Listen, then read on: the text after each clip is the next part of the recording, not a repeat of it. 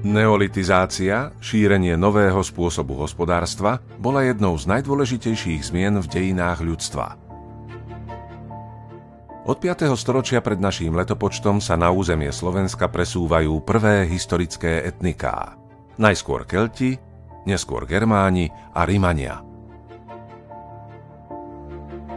Od 3. štvrtiny 4. storočia sa začal proces, ktorý nazývame sťahovanie národov – Krajinou dnešného Slovenska prešli Huni, Vandali, Langobardi.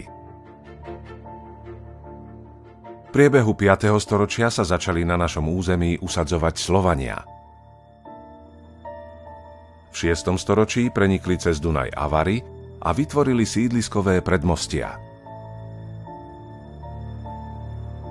Spojením Moravského a Nitrianského kniežatstva vznikla v 9. storočí Veľká Morava – ktorá dosiahla počas panovania kniežaťa Svetopluka veľkého územného rozmachu.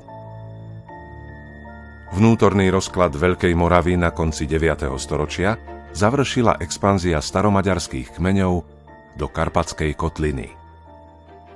Od roku 1000 sa územie Slovenska stalo integrálnou súčasťou uhorského štátu, v rámci ktorého Nitrianské údelné kniežatstvo zohralo kľúčovú úlohu v riešení nástupníctva na trón. Teritórium Slovenska patrilo pod správu Ostrihomského a Jágerského arcibiskupstva. A z hľadiska svetskej správy bolo rozdelené do komitátov.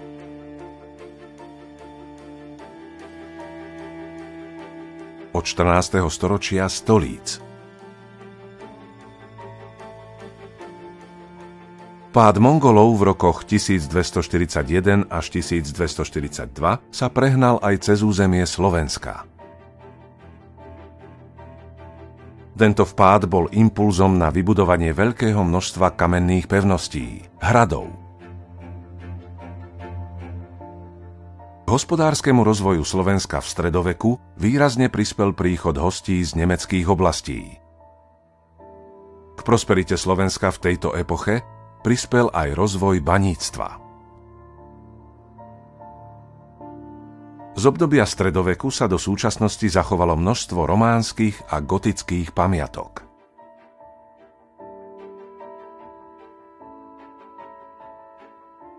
Moháčská porážka v auguste 1526 a smrť kráľa Ludovíta znamenali koniec stredovekého uhorského štátu.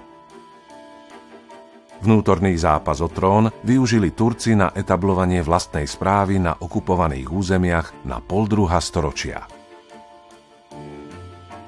V priebehu 16. storočia sa na Slovensku rozšírila z nemeckých krajín Luterová reformácia. Na rýchlo sa šíriace učenie reagovala katolícka církev silným protireformačným tlakom, opierajúca o pôsobenie rehole jezuitov – Nespokojnosť vysokej uhorskej šľachty s rekatolizačnou a centralizačnou politikou Habsburgovcov priviedli Uhorsko do víru ozbrojených povstaní, sužujúcich viac ako storočie predovšetkým územie Slovenska.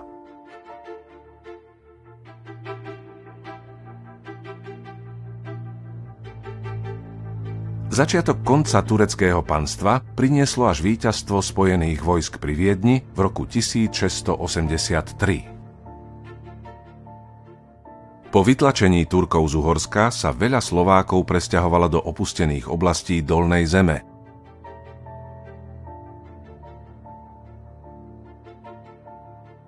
Osvietenská školská reforma z roku 1777 vytvorila predpoklady pre vzdelávanie všetkých vrstiev obyvateľstva.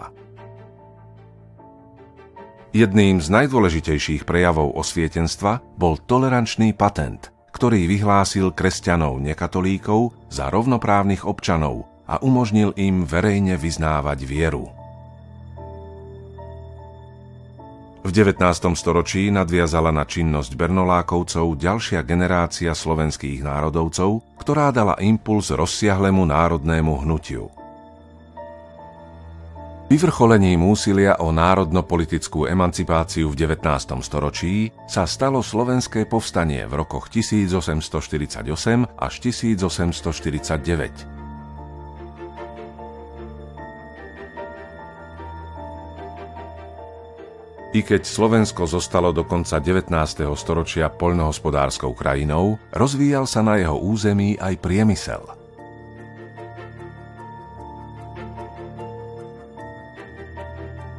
Napriek maďarizačnému tlaku uhorskej vlády a úradov zostala slovenčina prevažujúcim jazykom miestneho obyvateľstva.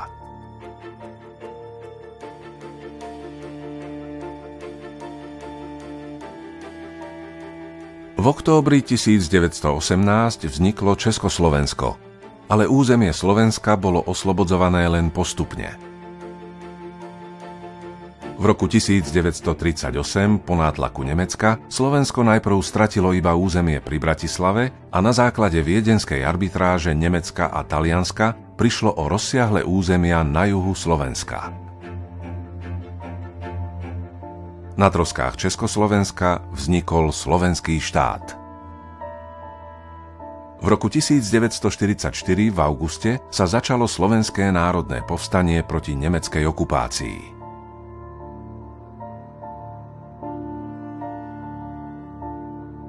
Napriek jeho potlačeniu bolo Slovensko oslobodené.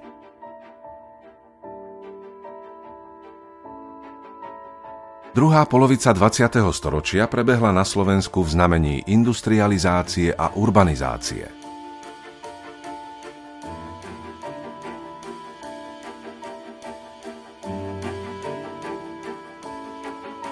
V súčasnosti je Slovensko demokratickou krajinou, rešpektujúcou práva národnostných menšín a náboženských komunít, žijúce v priateľskom spolužití so svojimi susedmi.